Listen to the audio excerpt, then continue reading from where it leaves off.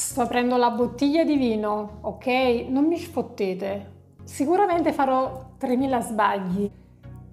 No, non è un tutorial di come si apre la bottiglia.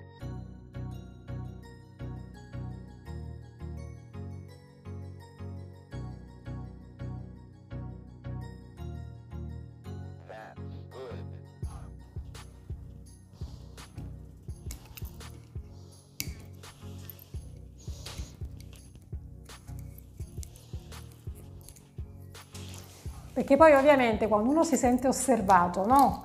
Fa tanti di quegli sbagli che magari a casa non fa, ok? Magari a casa la capsula la toglie per bene. Ah, a proposito, a proposito, si pulisce un pochettino qua sopra dopo aver tolto la capsula. La capsula è questa, vedete? Quella che sta sul vino. Questa capsula ha due forellini, eh? Ovviamente perché è tutta una questione di respirazione della, del vino.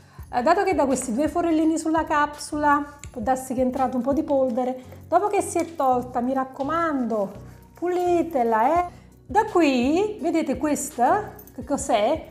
Questo, vedete? È il verme, è il verme del cavatappi. Si inserisce giusto al centro qua della bottiglia, cioè del tappo di sughero, ok? Non vi scordate, mi raccomando, Mettetelo bella al centro, eh, mi raccomando, non sbagliate. Ok, l'ho messo bene al centro. Si gira. Allora, il cavatappi ha due, due levette, una più in alto e una più sotto. Si comincia da quella più in alto, si preme, poi si alza contemporaneamente quest'altra leva qua, si passa al secondo, alla seconda, si fa piano piano almeno io faccio piano piano, piano piano, piano piano, piano piano, si fa una rotazione così molto molto leggera. Se non ce la fate, prendete il tovagliolo, non sia mai marron toccata o tap con le mani, non esiste proprio. Ok, fate così, piano piano, una rotazione, plaff.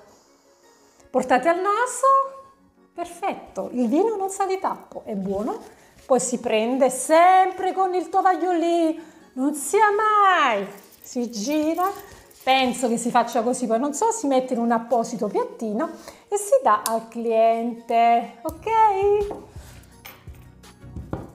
E ce l'ho fatto pure io.